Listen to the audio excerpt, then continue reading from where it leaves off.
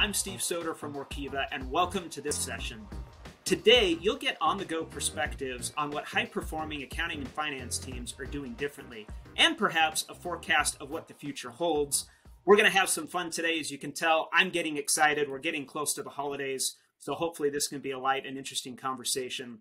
I am delighted to be joined today by Matt Kelly, CEO and founder of Radical Compliance, and Ellen Ourednik, the Vice President of Talent at RGP. Well, let's jump right into the content. And and one of the things that we wanted to ask just right off the bat, it seems like COVID has been a game changer, but it's been an accelerant. And of course, this conversation will include COVID, but it isn't going to be all about it.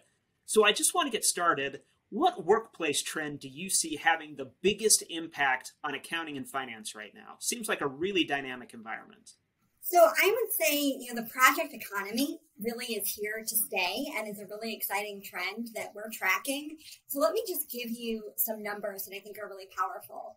Um, in the year 2020, 35% of the workforce did some kind of gig work. And by 2027, we're estimating that will be 50% of the workforce.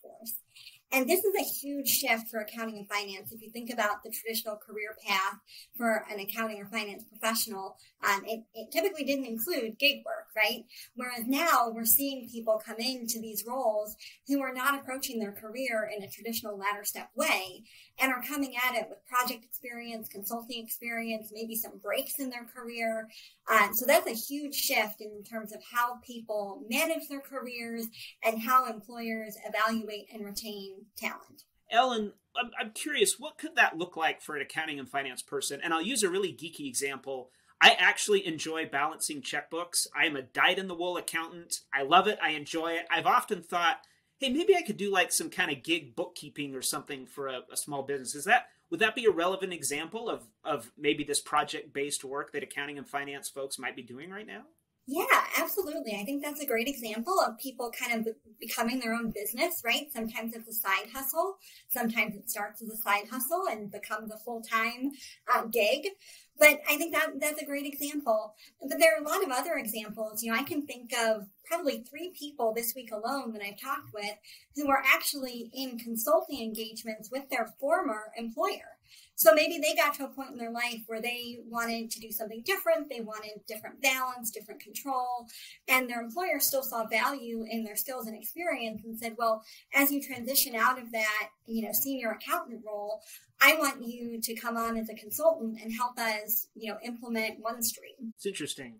Matt, you and I have been looking at trends recently. We worked on this big state of the SOX market report for the SOX and Internal Controls Professionals Group. I know you've got an opinion and are seeing a lot.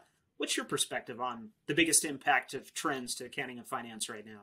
Well, I mean, I, I would keep it simple that uh, I, a thread very similar to what Ellen was saying is that still the biggest driver of change in work right now is just the push for remote work or hybrid work or something to that effect. Um, maybe a bunch of us will start working in offices again full time in 2022, but I suspect most of us probably won't.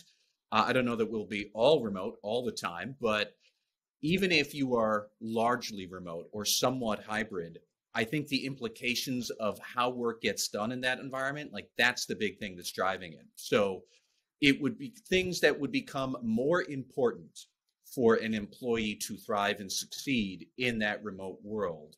That's what I would tell people to, to keep thinking about. So it would be project management. Uh, it would be team management and maybe trust skills that you can build in a team when I think that's a lot easier to do when your team is eight or 10 people who are seeing each other every day and they're right next to each other in one department.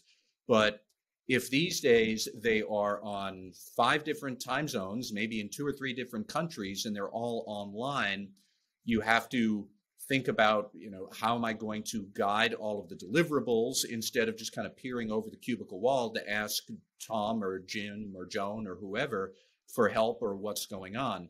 So the people skills and the management skills that become more important when we're all still largely doing some amount of remote work, like that's what's going to shape 2022 and beyond, and probably for quite a number of years beyond. So if we assume that accounting and finance uh, teams kind of figured out, hey, we can actually do this work remote, it sounds like what you're saying is, hey, this trend is going to continue. And now what they're going to be looking at is, well, how do we do it better, right? How do we magic products better, projects better? How do we build trust, right? It's, hey, we know we can get the work done. So how do we maximize efficiency and collaboration and all those good things going forward in the future? It's almost like this new kind of practice or element has sort of emerged, right? Like auditing or doing accounting remotely. Is that right? Yeah, I think part of the challenge is going to be the mechanics of how would you use the technology smartly and how would you assign tasks and how would you maybe use new data technologies better if you're really going to be uh, working across multiple time zones, multiple locations, and things like that. I also still think a big part of it is going to be the people skills when the people aren't next to you and there's a famous quote from George Bernard Shaw. He said, The biggest problem with communication is the mistaken belief that it has happened. And what he meant was that plenty of times people will think they said something and everybody understood it, and the other people didn't. And it's easy to make those kind of bad assumptions when we're all chatting on Slack or iMessage or email or something like that. And that's how we're doing it as opposed to just meeting in the conference room. So those it's a mix of what I think of the challenges are. We uh, this past summer I, I did a session about digital body language um, and there's a great book out there about it but in retrospect i actually went back and read some of my slack messages. It's an im tool that we use at workiva. I actually sound like a real jerk on slack to be totally honest with you and i i think i'm generally not a jerk but sometimes it's pretty curse and and and right brief but I think it's a great point. How do you communicate in the new environment? It's a great point, Matt. And Steve, you know, I just want to pick up on that. You probably, you know, you probably earned some trust and credibility with those coworkers at Workiva because you've got established relationships. And so the way you communicate when you have those established relationships is very different. Um, from how you communicate when you are in the process of establishing those relationships. I love it. Um, Let's move on to another question. We've heard a lot about this term lately, the great resignation, right? So many people are leaving jobs. Some are going to different jobs, some are staying out altogether. Talked about the gig economy, I think that's been a big thing. How do we think about that within the context of accounting and finance professionals? We've done some internal surveys, and actually, job satisfaction is actually fairly high, fairly, or, or excuse me, higher than we thought it would be. But I'm wondering, how do we see the great resignation affecting accounting and finance professionals today? Steve, I see it uh, affecting it probably in a couple of different ways that are somewhat good and somewhat bad. Um, for an individual person who is good at their job and has good skills, I mean, look, let's be honest. How does it affect you? You can demand more money. You can demand more interesting assignments, and you could go and even not necessarily say I don't like this co- this company, I'm going to quit, but more like, look, I'm getting calls from recruiters four times a day. I have to do what's right for me. Please pay me more money and give me more interesting assignments so I'll stay. And that is it's not part of the great resignation because nobody's quitting in that circumstance, but it is the great demand or something like that. So at an individual level, I think a lot of uh, ANF people would probably find that this is not such a bad thing for them. On the other hand, I also think that the great resignation creates a lot of what I'll call froth in the workforce. There are a lot of people who are coming and going. And even if you are staying where you are, if your colleagues or people down the hall or another business department that your accounting team works with closely if they're experiencing a lot of high turnover, that doesn't do the organization any favors. But one of the things that I've noticed is the pay that is being offered for some of these positions. I look at where I started out just coming straight out of accounting school and now comparing that to what other people the big jump is you know two or three years into your career being able to like let's say get out of public accounting for example and get a job i mean those salaries are massive uh, at least relatively speaking to what they were I wonder if that's this other element that may have longer term impacts on the practice in general. Again, I don't know if you have any comments. I'm probably pulling that out of left field a little bit, but the whole compensation piece um, is, I think, been really, really dramatic just in terms of what's happened over the last even several years, perhaps before COVID. No, I, I think that's a very valid point, and I don't have any data uh, to my knowledge, and I can't pull it out off the top of my head, but it's absolutely true that um, internal salary disparities, whatever we might want to say that, you know, that maybe somebody who is now newly hired is not 20% under the mid career people, they're 2% under the mid career people. That's going to create some tensions. And uh, you know, there are going to be ripple on effects that more senior managers in the HR department, like they're going to have to think that through.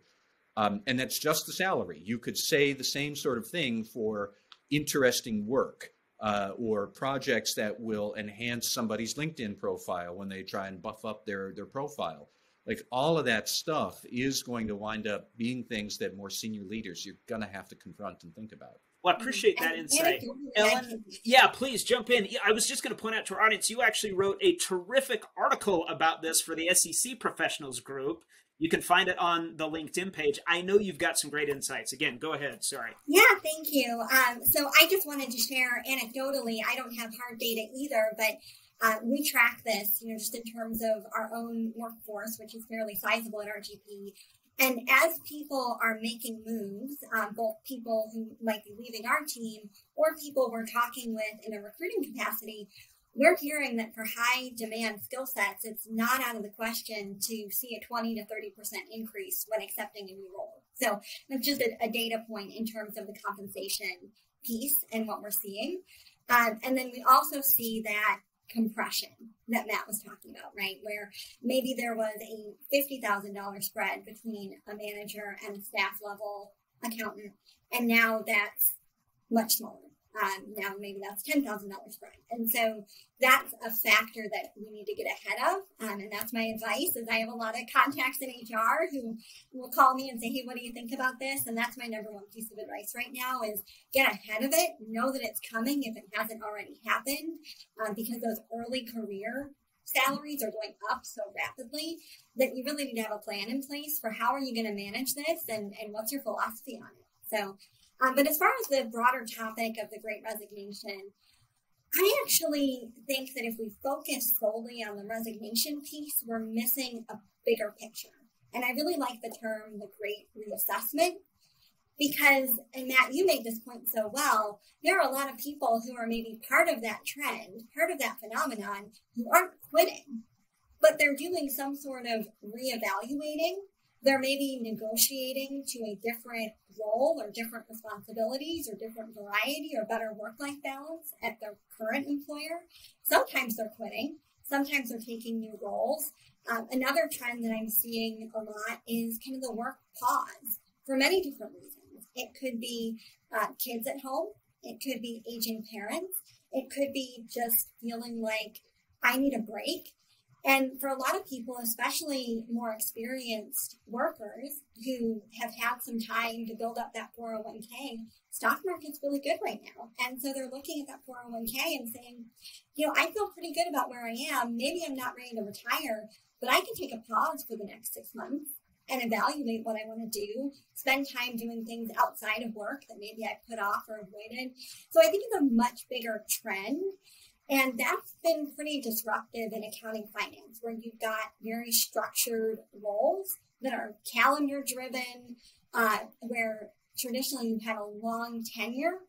Um, and now we're seeing dynamics that are really changing that and forcing leaders to look at things much more flexibly, thinking about distributing tasks across their team, cross training, giving people opportunities to participate in special projects. I mean, it's really the ripple effects are huge. As as usual, Ellen, my my timing was terrible. I actually had such a pause where I took a step back. I, I did some work for my family, a family owned business. I really wish I could have done that during COVID. To be honest with you, my my timing as usual hadn't hadn't played out uh, as advantageously as I could. Thank you both for adding that uh, or sharing that uh, that insight there. I do think it's going to be really, really interesting to see how this plays out over the long term. Um, we talked about trends earlier. Just kind of a quick question. What workplace trend do you think is all hype and is not going to last? And, and why do you think it's all hype? I would say the remote piece. Um, I have so many conversations where people are just remote, remote, remote. And I think remote is definitely a component. But if you look at survey data, it's not the majority of people who want a 100% remote experience. The majority of people want some kind of mix. They want some in person time. Maybe it's going into an office a day or two a week. Maybe it's just strategic, intentional in person time for trainings or a team retreat or whatever it is. But I, I think again we kind of miss the bigger picture if we focus on remote, remote, remote, and it's really going to be more about flexibility. Steve, the only other thing that I think might be hype that I believe will not last, and frankly, I hope I it will go away, is so many Zoom meetings. I feel like Zoom and camera was meant to add depth, and it does in some ways, but I actually think it uh, it, it almost makes a flatter conversation, especially for those things that are a little more routine and mundane. For example, that hey, a quick phone call could actually do just as well, if not better. So I love it. I absolutely love it. Um, let's shift to a pretty hot topic right now. Of course, ESG has been a just a huge thing that that we've been talking a lot about Workiva. I know it's on both of your radars as well. I want to talk specifically about DEI, diversity, equity, and inclusion, and wondering what your insights are on how accounting and finance leaders uh, are addressing that issue. It is super important. It is critical. I do feel like accounting has lagged uh, a little bit in that regard, particularly um, when it comes to diversity. But just wanting your insights there on how leaders are addressing this issue. Well, I think that it is a struggle. I think many companies do struggle with it. I do think that they are struggling in a somewhat productive manner, and they're trying to struggle with it in a disciplined manner, which is good. And let's not forget that 10 years ago, nobody would even be talking about this really beyond maybe some fluff window dressing. So it's good that we are having these conversations, even if companies are trying to still trying to solve this problem. Um, I also think it kind of depends on the letter we're talking about. If we're really talking about diversity in particular, a big part of that is just recruitment, and I I have mixed views on how good we are at that. I see so many companies still say that we just can't find enough diverse candidates, and I think that that probably means you are not looking as in as innovative of a way as possible. An awful lot of job descriptions out there are very narrowly tailored and overly engineered. And when you get to that degree of it, you wind up excluding people, not through any overt racism. It's just more like, well, you know, does every single job need to have the exact same industry requirements? Not necessarily. I mean, in sales, you could be a fantastic car salesman and then also sell computer equipment. On the other hand, I, I do think that for diversity, a lot of the accounting firms, especially the big four, they're very thoughtful about this. And let's be honest, they are a pipeline to recruit and train legions of accountants who then wind up in the private sector.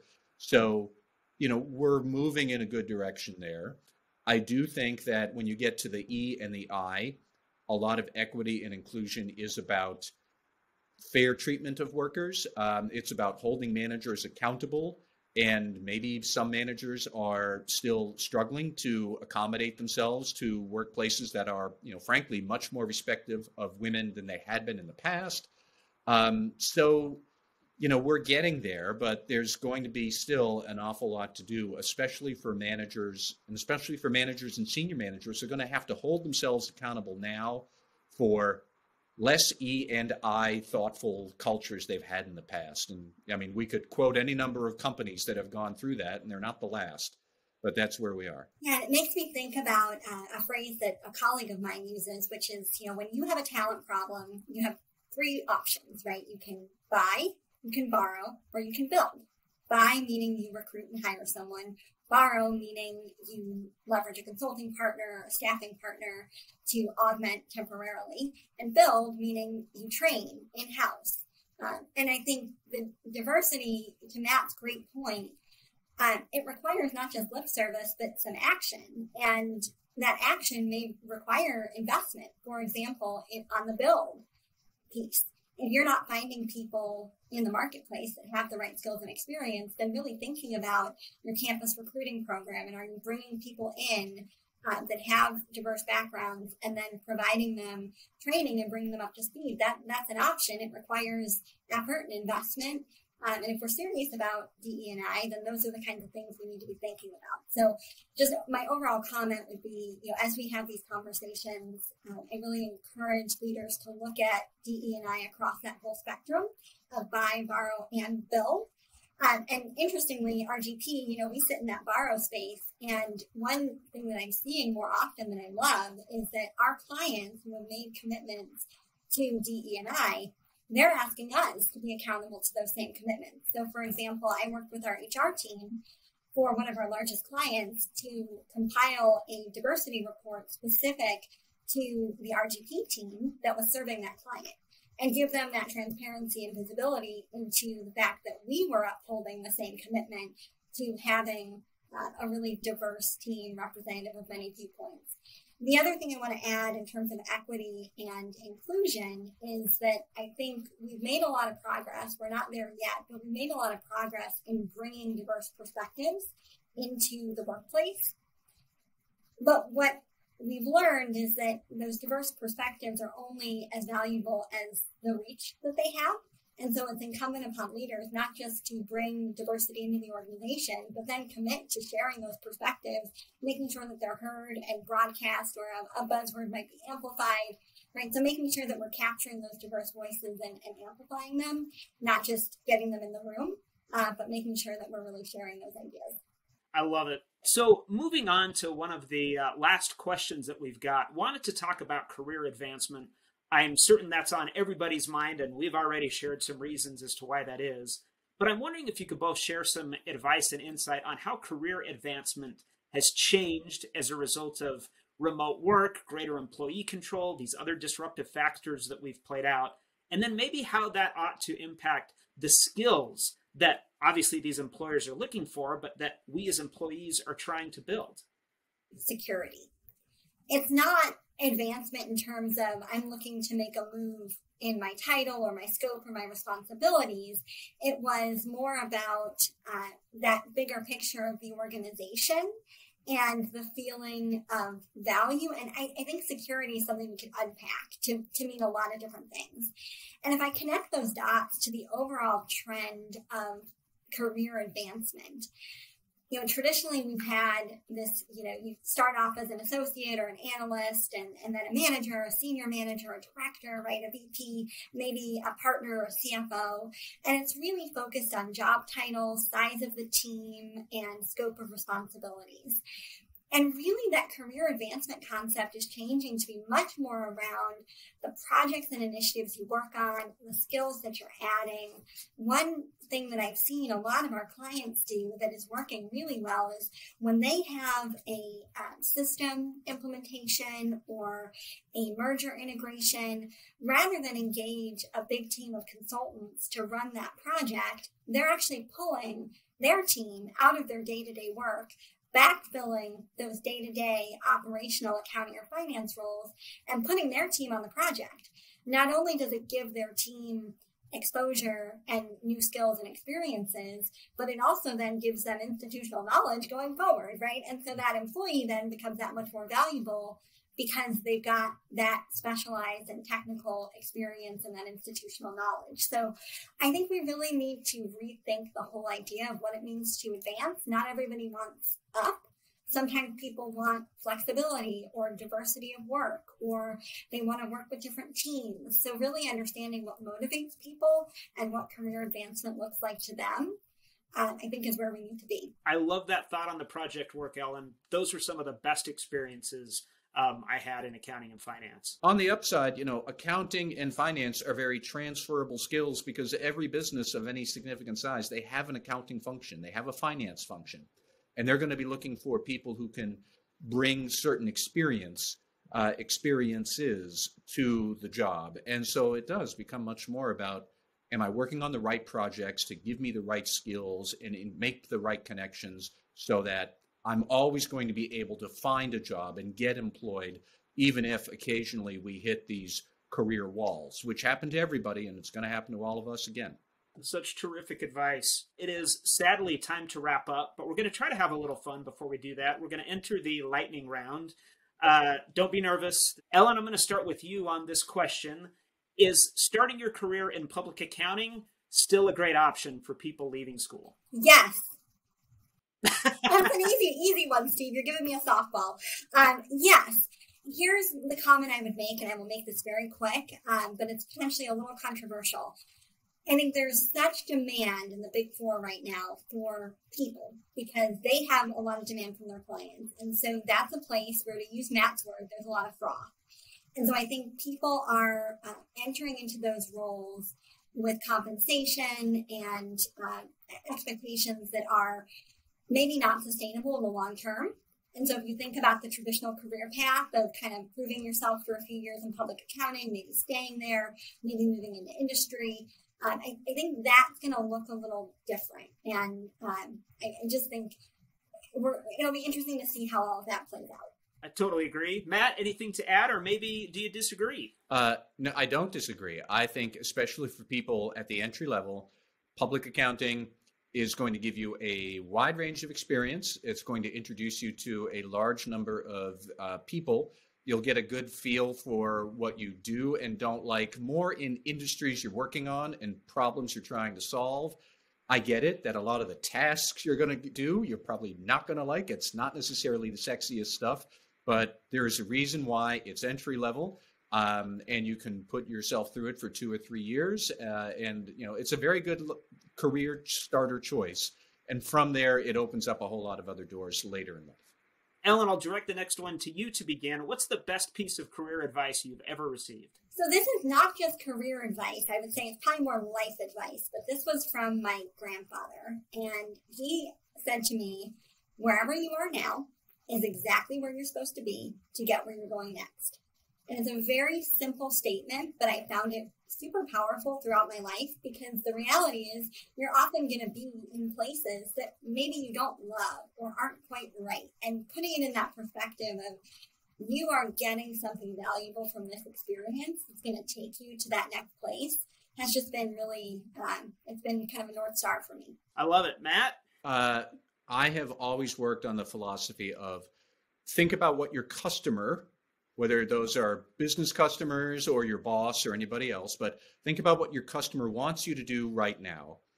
Think about what they will probably want you to do 18 months from now. And then think about what they will absolutely insist you be able to do two years from now. And then go and start do that, that third thing. And you will always find that you are going to be one step ahead of what your customers are looking for and uh, then you'll be in a much better employability situation like we discussed earlier. Mm, two terrific pieces of career advice. Our last question then matt will begin with you. What would you tell your 22 year old self in hindsight whether about careers relationships or anything else? Oh i would definitely say trust your gut when your gut is telling you no it's not you. The rest of the world really is crazy. You're right trust that. Ellen, we'll give you the last word on this. What would you tell your 22 year old self? A little patience goes a long way. Uh, would have been my advice to myself. I um, specifically, I got a graduate degree. Uh, many many people do in, in this field, and uh, I, I wanted that to have, bear fruit for me immediately. And I remember being very down on myself, very hard on myself. That gosh, I invested all this time and all this money and trying to get my career to a different place, and I just don't see it happening. And I look back, you know, two, three years later, and I can see that it did bear that fruit, but it didn't happen overnight. It took some time for me to see that momentum and that change in my career. And that's just one example of, you know, a little patience and a little time. You'll often see things differently. Well, it's a great way to end. Trust your gut, have some patience. I think solid advice across the board, whether it's relationships, career, or anything else. Well, this has been such an awesome discussion. Uh, I can't thank you both enough, Ellen and Matt, for joining us. Definitely want to thank our audience, those who are joining in. We sure appreciate you uh, riding along with us. If you have questions, if you want to share your thoughts, please share your comments on the event page and definitely follow or connect with us would love to continue the discussion with you. Again, we want to thank our speakers. We want to thank our audience. Thank you all for such a wonderful discussion. And We hope you have a great day.